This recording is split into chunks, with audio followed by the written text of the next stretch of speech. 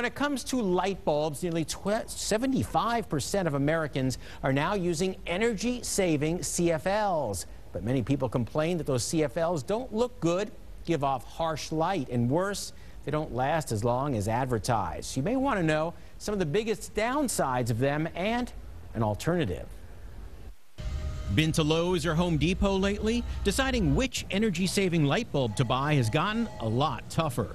I have no idea what the difference is between CFL and LED. I don't really know the difference. Our partners at Consumer Reports magazine say those CFL bulbs we all now use have some real downsides. When light bulbs were turned on and off every two minutes, some CFLs burnt out. That's why CFLs often don't last long in bathrooms. If you turn them on and off all day, they may not last a year. But all the LEDs were still going strong after 200,000 on and off cycles. Also, unlike CFLs, LEDs can be dimmed.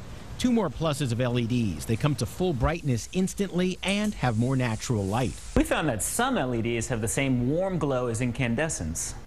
So which LEDs are best? Consumer Reports gives top ratings to the EcoSmart from Home Depot and the 12.5 watt Philips, both around $25. Yeah, you heard that. These new bulbs are expensive, around $25, but Consumer Reports says they will last for years, even in a bathroom. Now, the good news about CFL bulbs, prices are as low as a dollar a bulb now, much less than they used to cost. On WCPO.com, read